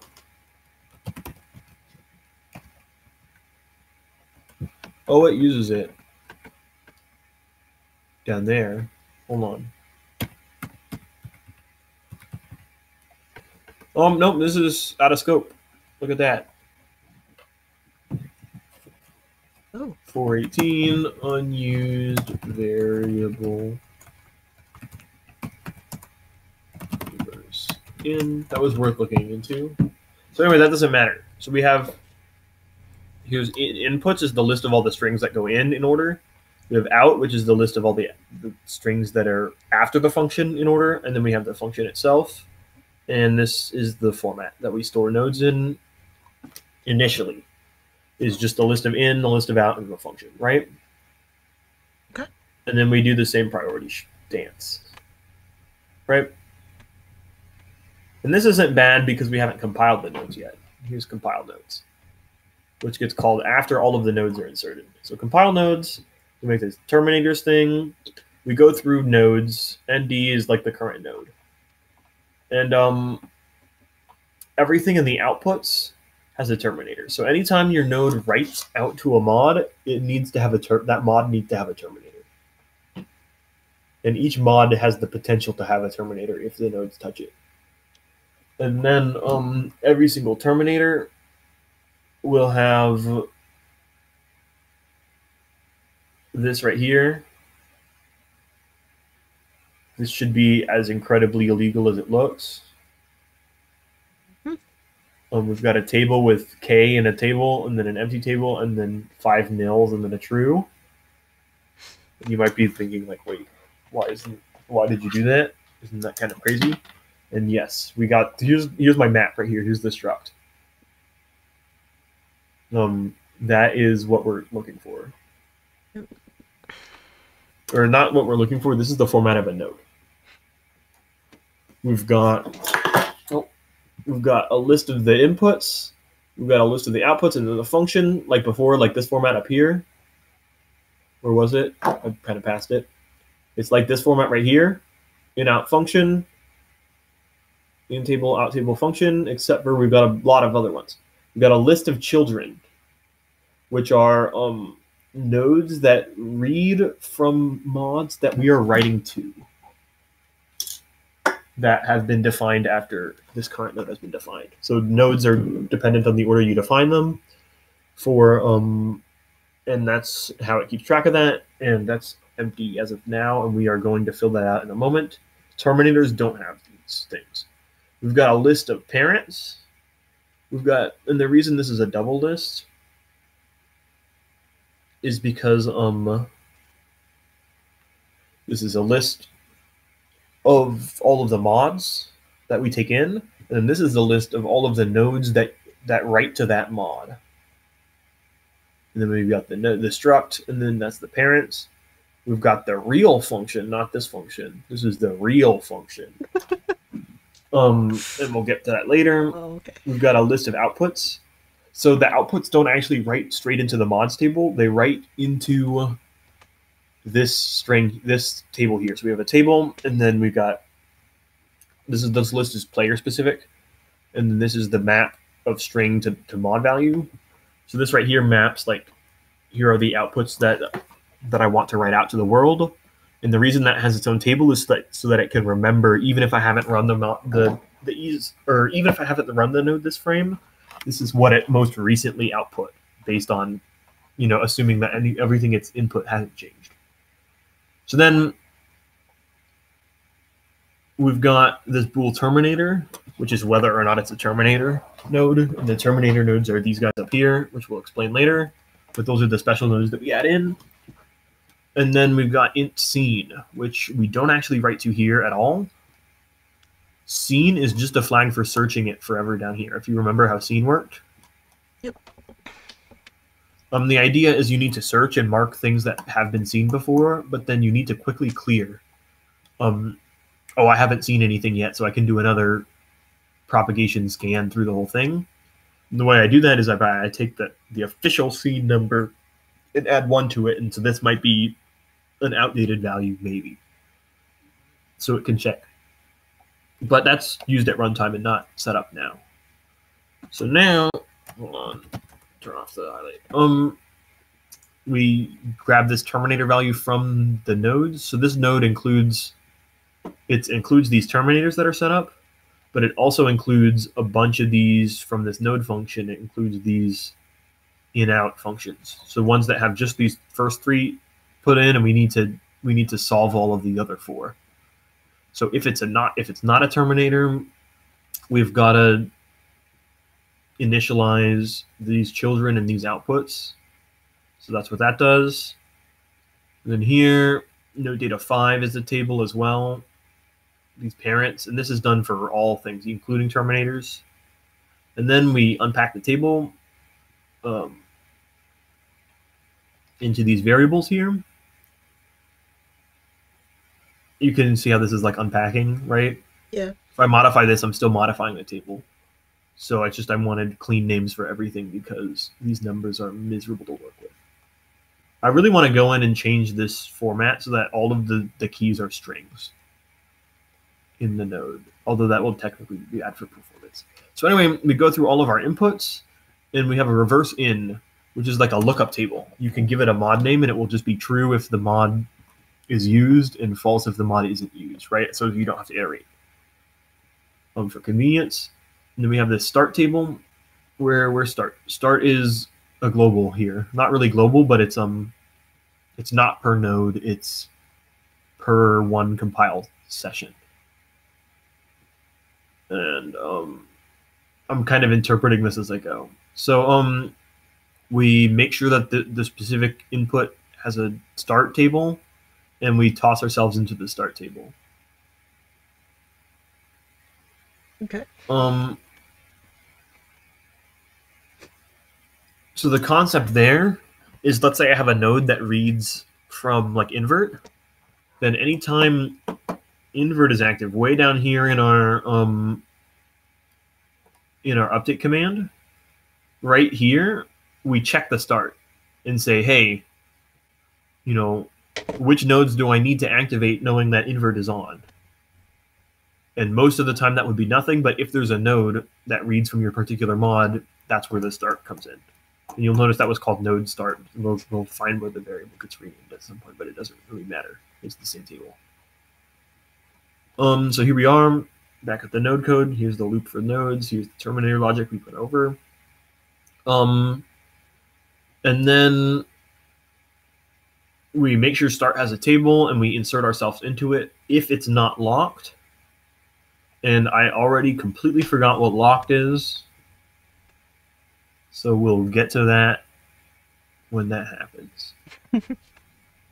um oh, it's locked if something writes to it. So for example, if there's another if there's another node that writes to invert, for example, then we don't need to activate that node if invert is changed. We need to activate that node if its parent has changed. So now it has a parent that's separate. So that's what's going on with lock. Okay. I think. Um. So if it's not locked, then we go to the start. Otherwise, we go and find who our parent should be based off of the I, which is the um um this comp the parent is this guy. So we want to we, we just set um hold on. Why do we set that to true?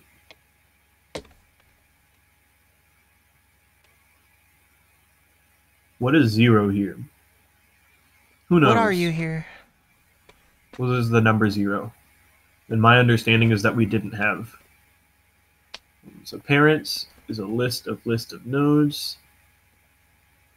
The inner wait, there's a comment there. What? The inner lists also have a zero field that is a boolean. Yeah, it's a boolean. We set it to true. Okay. And do we ever read it? We do read it way down here.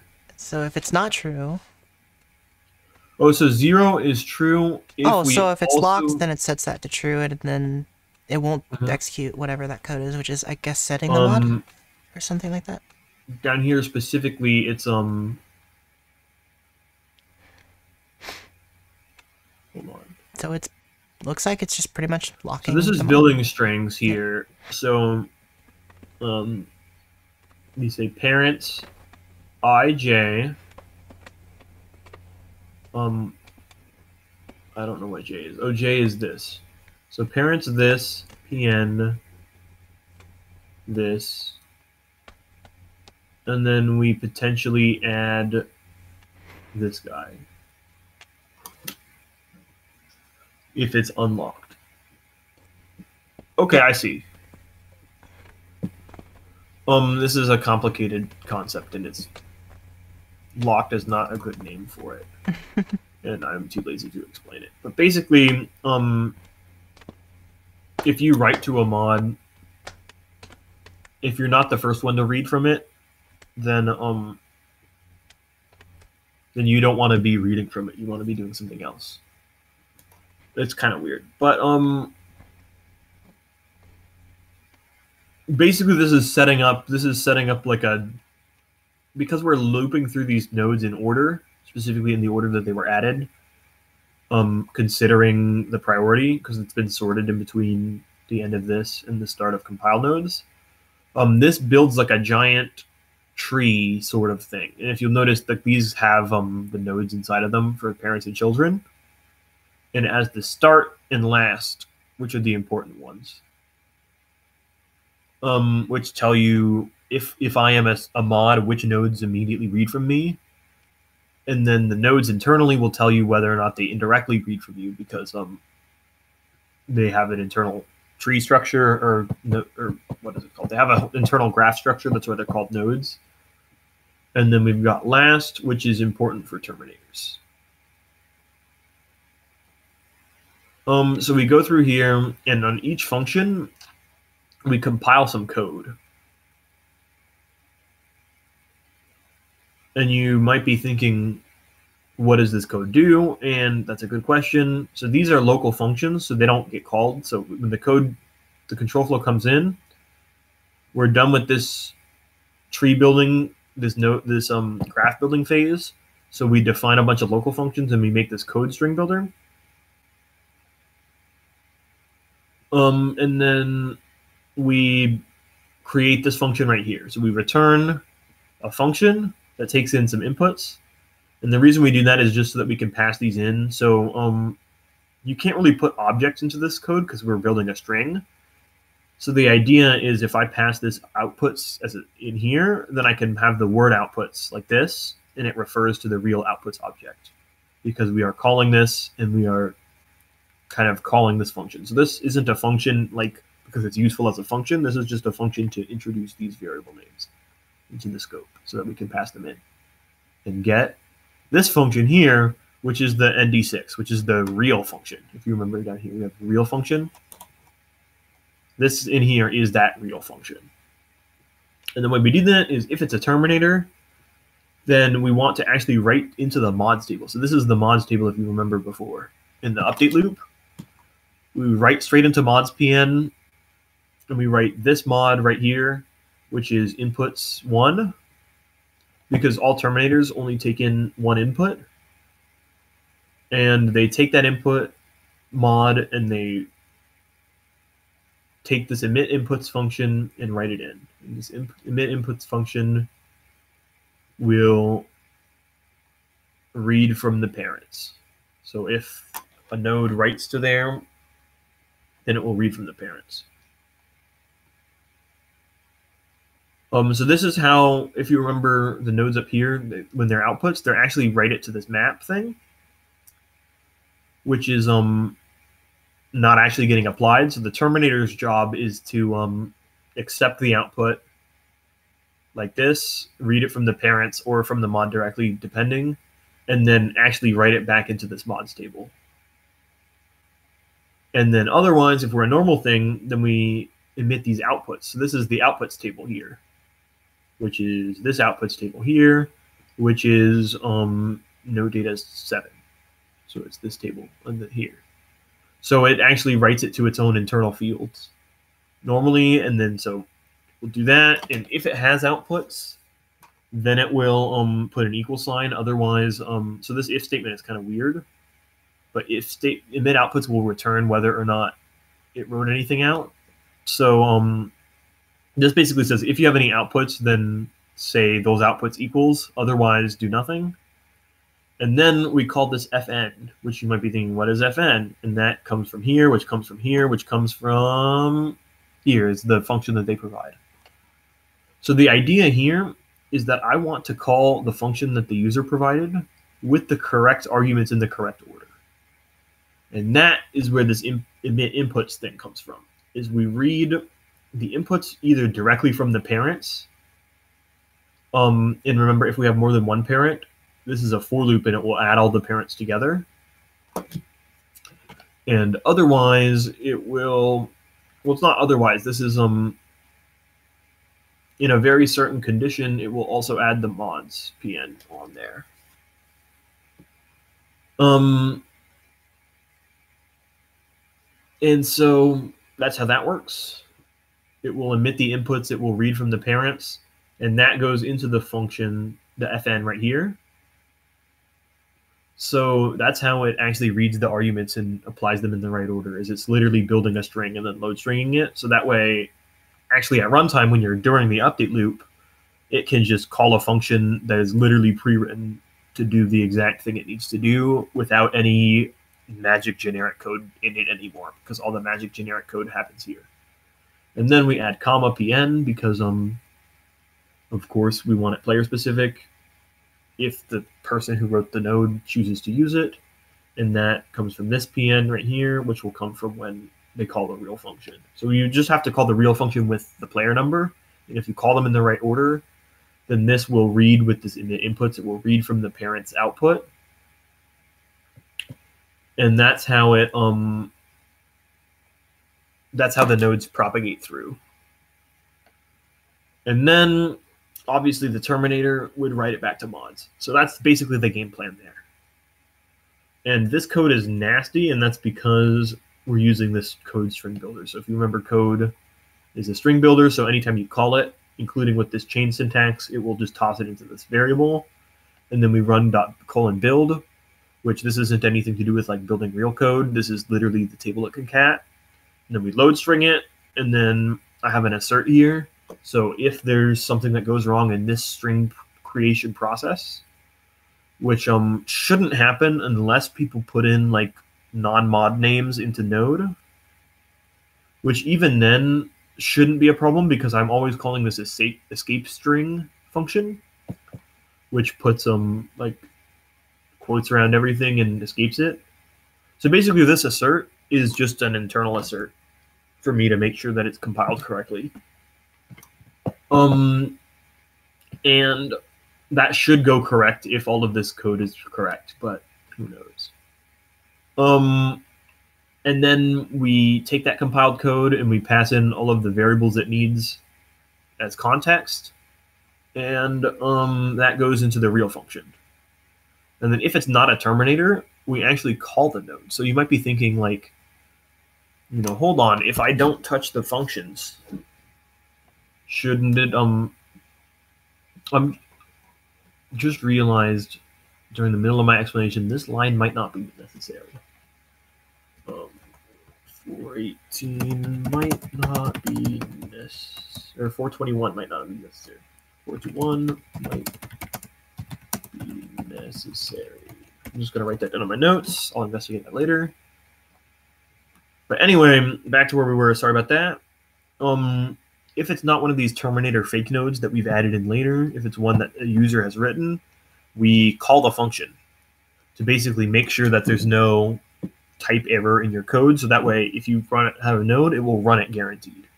So for a node that moves the background, this guarantees that it starts in the right spot, even if you are like playing the file and you're starting halfway through. It will run it at least once. And also, this runs the nodes in order, which is good because if you remember the nodes kind of it's order dependent. So this will make sure that all of the parents have sensible pre-filled outputs here, so that once a node starts reading from its parent, it will um it will propagate through properly. And so that's what that does, and then we go in and unlock everything apparently. Um, I think there was a flag v locked in here Um, locked was a table here, but I'm not actually putting anything into it. The reason this is open curly brace, closed curly brace is just because I wanted a key to use like this that you could put inside of start um, without colliding with anything. So if you notice, I always, I never read locked directly. I do start be locked. And this is technically a table, but we don't really care what it is. It's just a unique value. So that's what's going on there. Kind of. That's not really a good definition, but basically we clear that out.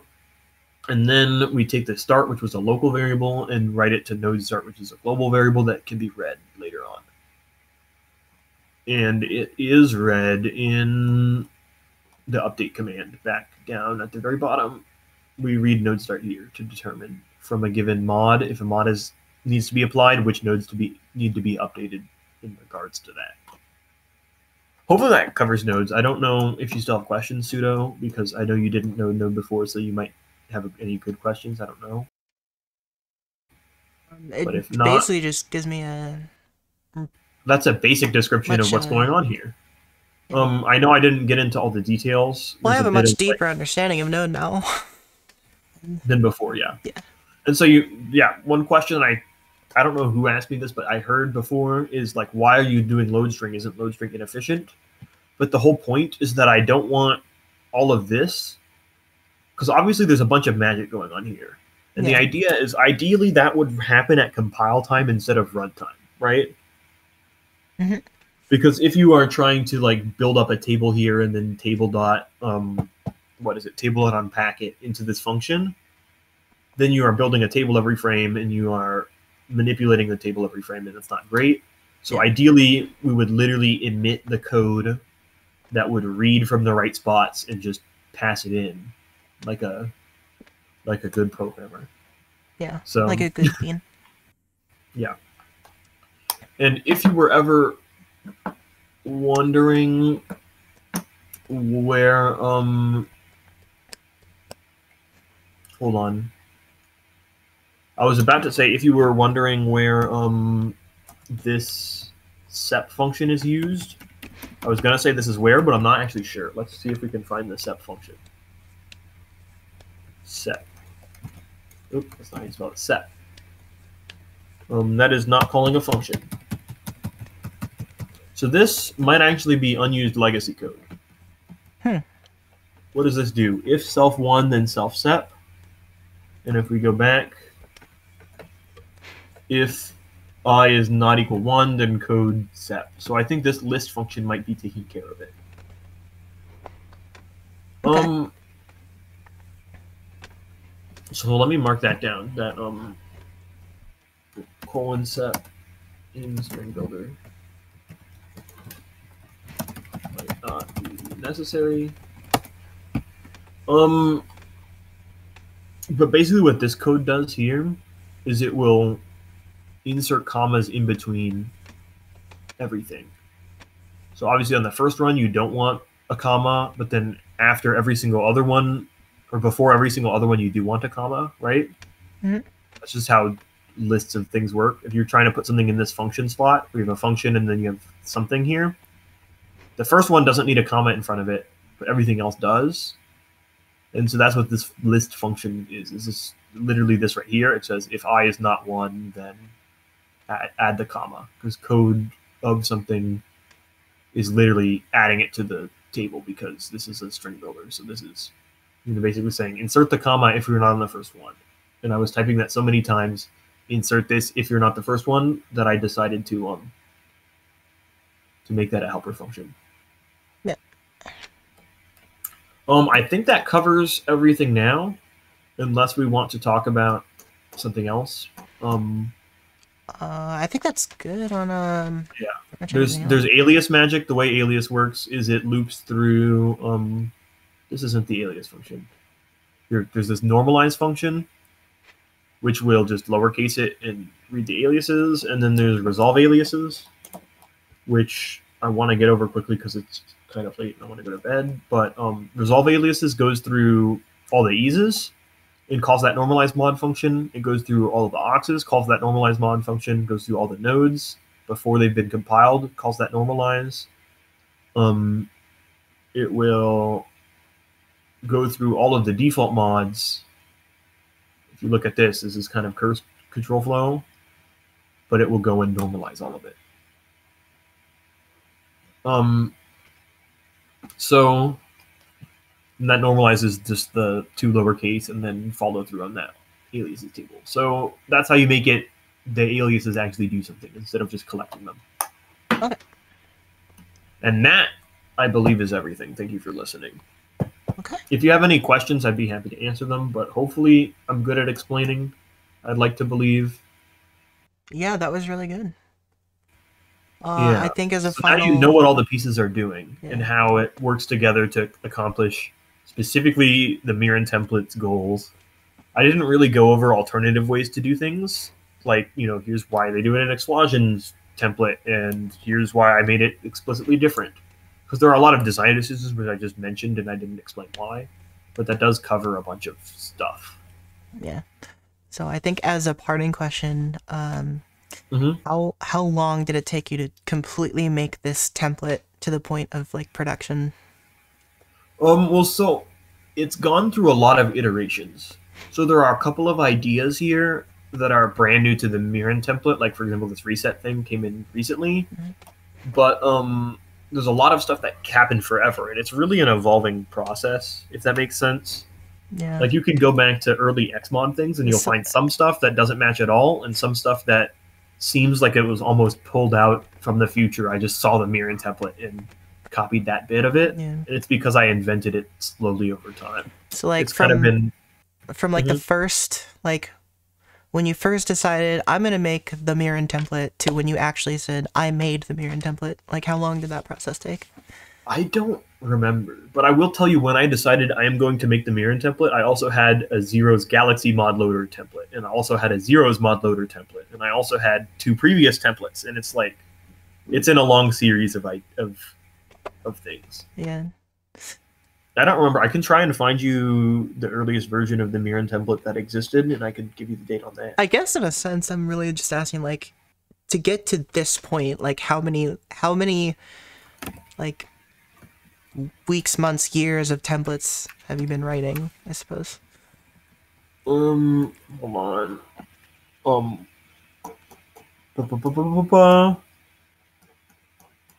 I'm scrolling through some DMs. Here you go. 9 p.m. on what day is this?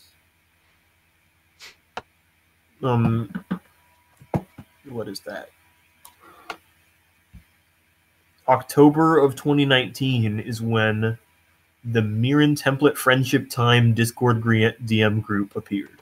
and So- that was a long time ago. There are some design decisions that you would find a thousand percent illegal. So it's and that been involves not using Lua even here. Have a fun. I'll DM you with this sneak peek. This so it's sort been about uh, say 16 months that um the Mirin template as it has been officially named Yeah. has been started. Yeah, and there was obviously all sorts of development work before it was called the Mirin template, because I've gone through a bunch of template versions. Um, from the very beginning, my first mod file was not anything elegant; it was probably worse. But it, I did not use the templates they provided. Um, the way I learned to mod was actually by taking apart the mods bootcamp files and then putting together my own thing there. And then um, because when I learned when I learned it that way, I was comfortable-ish with coding there was never an idea of this is the part you don't touch, this is the part you do touch. So it's always evolved from there. Where, firstly, I tried to, as much as I could, understand what was going on, and then once you have a full understanding of how what you're using works, it makes it a lot easier to modify it. So, like for example, you might go on and make some tweak to the Mirin template now that you understand how all of the bits and pieces work. Oh yeah, I definitely do But- plan to do that. Yeah, and it's a lot easier to do that when you start with something as simple as the Mods Bootcamp template. So this is a Yeah. shout out to the Mods Bootcamp template for being simple to understand. yeah. That is probably the one thing that the Mirin template is bad at is that it takes a full explanation and you need to understand a ton of stuff about code. yeah, editing the template itself definitely takes a very strong understanding of not just the template but Lua as well. Yeah, and there's a bunch of hidden uh, assumptions and stuff. You know, like that priority thing with the weird multiplication that kind of needs to be explained. And if you look at the the other templates, usually they will be much better at being self-explanatory. And um, that's really where I learned how to make templates. So if Yeah. someone else wants to follow in my footsteps, that's one way to do it, I guess. So I have a list of bugs that I need to fix now, or at least type up into GitHub. Do that tomorrow. Um, Go to bed. Yeah. Um, if you have no more questions, I can leave. But um, that's pretty much what's going on in the template. All right. Um, if you'll notice, most of that was Lua, right? There was not much. Here's this actor, and here's this actor, and here's this command, and then here's this command, because it was all in one giant block, and that should make it easy to toss into SM5, which I know you are planning to do Yeah. to try and make this either work immediately in SM5. Yeah, I'm also like planning to kind of do a bit of like an XML recursion hack to kind of just be like um setting up like actors and then just like so basically the idea is I want to um chuck a single like code um, XML into the children of the main actor frame. Mhm. And then it'll just pull that and then it'll read like, okay, so what did we put in here? And um, what do we need to put in based on that? So kind of like what the plugins does. It just basically like, here's all of the, uh, Yeah, except for instead of just instead of building files, a sequence of XML files once, you could take in an arbitrary def.actor, def.actor frame shape and Yeah. build that up. And then it could use add command to add the commands in and add name. Or you can do a there's a set name function to set the name. Yeah. There's a set shader function. the only thing is, is that I feel stuff. like I would have to just like straight up just shove in a bunch of layers there and just say like, however we have, and the condition is if we have stuff to put in it. Mm-hmm. that's how Arctic Spin works too. Is ever, if you have an actor frame with like more than I think I think he used the number ten as well as I did. My plugins also use the arbitrary number Yeah, ten. but the thing is with that, it's kind of tricky because like you use twice as many afts in Ghost Town alone.